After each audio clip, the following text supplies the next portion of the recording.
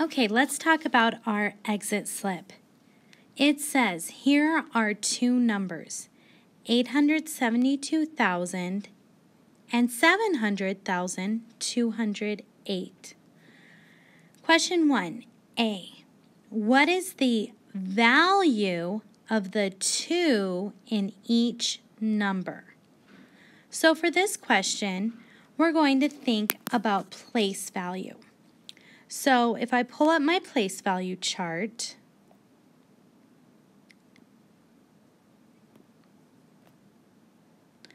and I'm going to stick it right here where we can see it. And then I grab a color we can see on there. I'm going to start with 872,000. So if I put that on here, it would look like this, right? What is the value of the 2? Well, my 2 is right here. This question is only talking about the 2. The 2 is in the thousands place. So I know its value has to be 2,000. Okay, let's look at our second number. Oops, where's my eraser? There we go. We're going to look at the second number now. Okay, we have 700,208. Okay, for this question, I'm looking at my 2. It's right here and it's in the hundreds place. If I have 2 in the hundreds place, then the value of it would be 200. So there is your answer to A. Now let's look at B. Write a multiplication or division equation to show the relationship between these two values. So we want to know how this number and this number are related.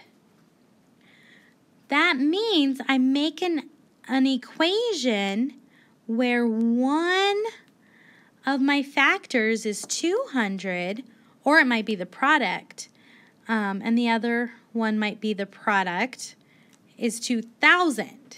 So we're making an equation. You could use division also. So I'm going to take 200 and I'm going to think, how is that related to 2,000? Well, I know I need one more zero to make 2,000, which is the same as multiplying by 10. So if I do 200 times 10, I will get 2,000. So there is my equation. So I know 200 and 2,000 are related because I can multiply 200 by 10. Okay, now we're going to look at number 2. Let me erase this so we can see it. Okay, number two is the same thing as number one, except we're looking at a different digit. So for A, what is the value of the 7 in each number? So here's a 7, here is a 7. So again, I could write it in. So 872,000 I'm looking at the 7. It's in the ten thousands place.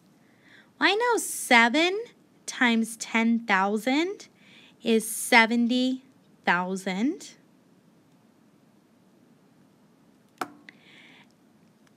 So then I can look at our second number, um, 700,208.